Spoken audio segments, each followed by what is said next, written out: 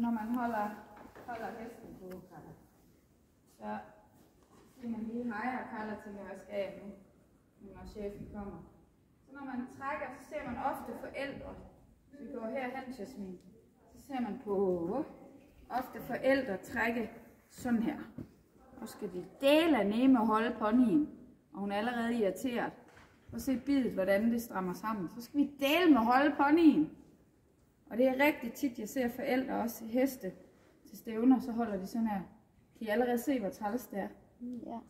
Altså jeg kan allerede mærke, hvor, hvor meget hun ikke kan lide det. Alt hvad man gør med heste, der skal man give tage, så man skal have det så løst som muligt. Hvis man vil stoppe hende, så gør man lige lidt her, og så i det. Så tror jeg bare lige lidt i den side, hun var jo på vej herover af. Så kan man lige gøre sådan, men når man så mønstrer, så har man noget mellemrum her, kan I se det?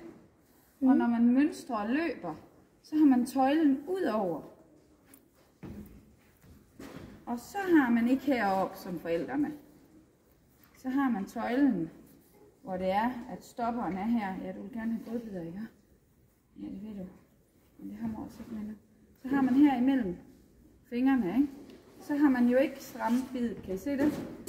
Og så hvis den lige går lidt for meget herhen, så kan man lige trække lidt i den, så er det. Det er mega smart på den måde. Og når man tager tøjler op, så er det ikke herude. Det kan heste godt blive bange for. Jo, det har jo kun med unge heste at gøre, og de bliver jo ekstremt bange, hvis jeg gør forkert. Så er det vigtigt. Ah, ah. Der tog jeg, så det jeg tog, slap. Og så blev hun rolig igen.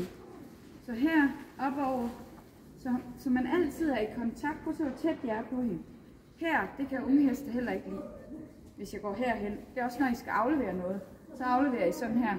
Hvis I gør det, mens jeg sidder på en unge hest, hvad tror I så, den gør? Det er helt vildt. Ja, så løber den. Løber den væk.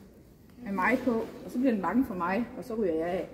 Så hvordan afleverer man noget? Der går man hen, ærer hesten først, ærer den og afleverer. Smart, ikke? Jo. Godt. Top.